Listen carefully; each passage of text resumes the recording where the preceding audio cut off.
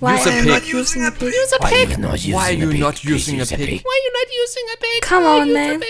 Please use Why a are you not using a pig? Hey, shut up.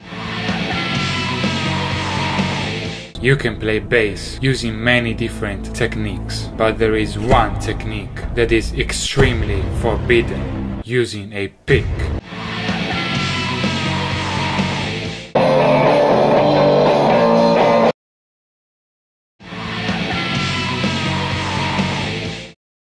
To be honest guys, I really like playing with my fingers and I have always played with my fingers. I'm not good with a pick.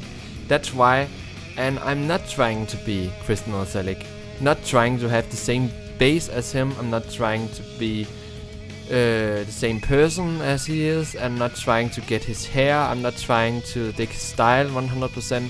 I'm just trying to make Nirvana um, rare songs, underrated Nirvana songs, uh, popular and give them credit.